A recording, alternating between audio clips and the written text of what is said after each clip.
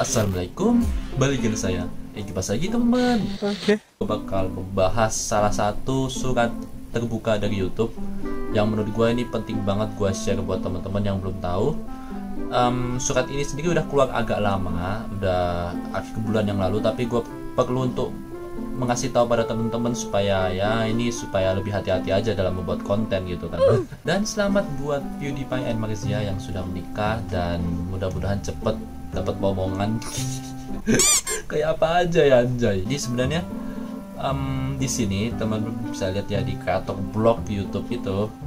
Di sini teman teman bisa lihat ya ini Susan Wojcicki. Wah, ngomongnya gimana sih anjay?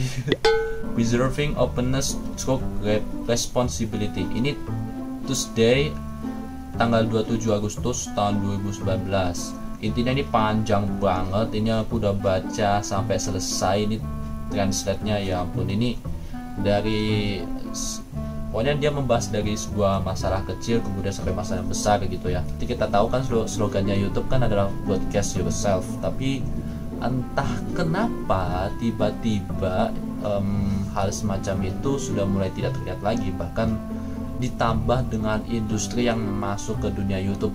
Akhirnya YouTube nggak jauh beda dengan TV gitu kan. Cuman ya kita boleh mengupload apa aja. Asalkan um, tidak boleh yang ada unsur pembunuhan unsur kekerasan.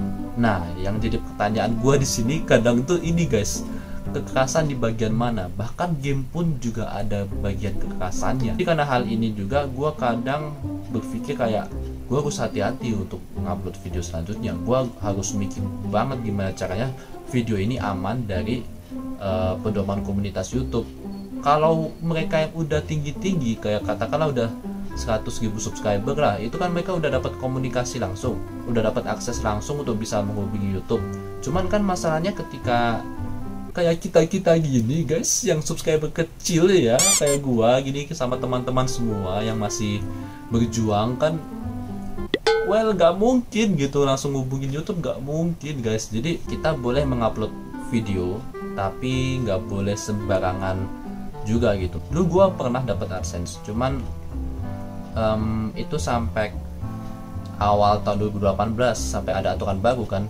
Akhirnya udah gue dicabut adsense dicabut dan gue nggak dapat apa-apa sampai sekarang gitu. Jadi yang bilang kalau YouTube itu mudah ya itu um, yang buntung aja. Karena surat ini akhirnya aturan semakin sulit dan buat teman-teman yang belum tahu nanti aku bakal kasih tahu di websitenya aja. Teman bisa langsung baca itu panjang banget. Intinya ya YouTube itu peduli dengan pengiklan intinya itu.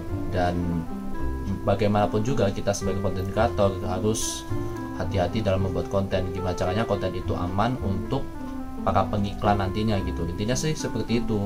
Cuman um, ya kita bakal lihat aja ke depannya nanti seperti apa. Mudah-mudahan channel kalian cepet di approve adsense-nya channel gua juga. Buat kalian yang masih berjuang untuk dapetin 1000 subscriber dan 4000 jam tayang tetap semangat jangan menyerah. Dan itu saja untuk video gua kali ini. Semoga kalian terhibur dan semoga kalian lebih nambah lagi wawasannya untuk referensi tentang video ini teman-teman bisa langsung baca di deskripsi di bawah. Itu ada website menuju YouTube kreator blognya itu. Dan oke okay, sampai jumpa di video selanjutnya teman-teman.